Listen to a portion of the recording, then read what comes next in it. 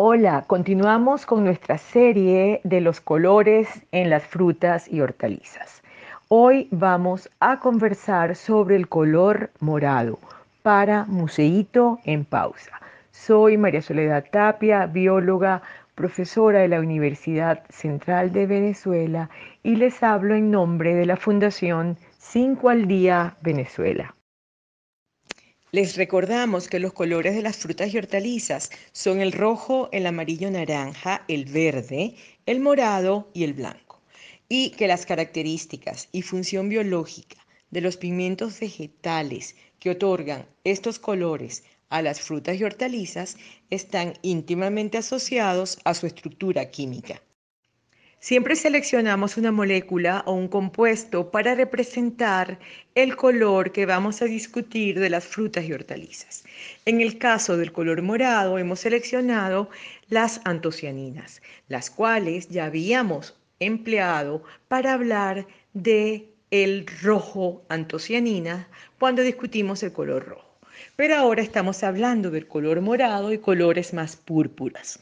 Igualmente, las antocianinas son las moléculas seleccionadas. Son químicamente polifenoles. Pertenecen al grupo de los flavonoides. Son hidrocarburos conformados por átomos de hidrógeno y carbono que tienen además dos anillos aromáticos, A y B, como los ven en la fórmula en la lámina. Estos son grupos fenilos y el grupo fenilo en la posición B puede llevar diferentes sustituyentes, dando origen a diferentes antocianinas, con colores más fuertes, como incluso más negros, más morados, más púrpuras. Entonces, al hablar del color morado, podemos identificarlo de una forma global como morado pleno de polifenoles variados. Y tenemos, por ejemplo, frutas que son moradas, como las uvas moradas, las moras, las ciruelas frescas y secas, como las ciruelas pasas, los higos, las zarzamoras, grosellas negras, arándanos morados. Y entre las hortalizas, berenjena, repollo morado, cebolla morada, remolacha y todas las que ustedes recuerden que tienen este color. Hablemos ahora de los beneficios de nutrición y salud de las frutas y hortalizas moradas. Primero debemos decir que son una fuente importantísima de vitaminas y de minerales, es decir, de micronutrientes que no pueden en su mayoría ser sintetizados por el organismo por lo que tenemos que obtenerlos a través de la ingesta equilibrada de alimentos que los contengan, como son las frutas y hortalizas moradas. Igualmente son una fuente importantísima de fibra. Con respecto a los beneficios de salud, debemos decirles que son potentes antioxidantes.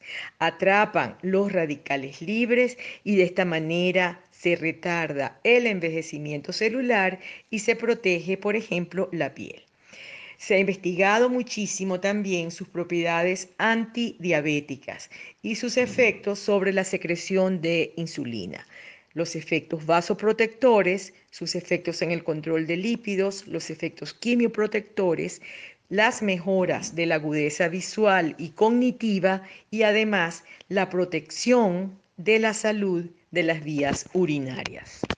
Queremos recordarles que el próximo año, el 2021, ha sido designado por las Naciones Unidas como el Año Internacional de las Frutas y Hortalizas. Y ahora nos despedimos recordándoles que en estos tiempos de epidemia debemos quedarnos en casa, lavarnos las manos frecuentemente, usar mascarilla correctamente, mantener el distanciamiento social y comer muchas frutas y hortalizas que ayudan a fortalecer nuestro sistema inmunológico.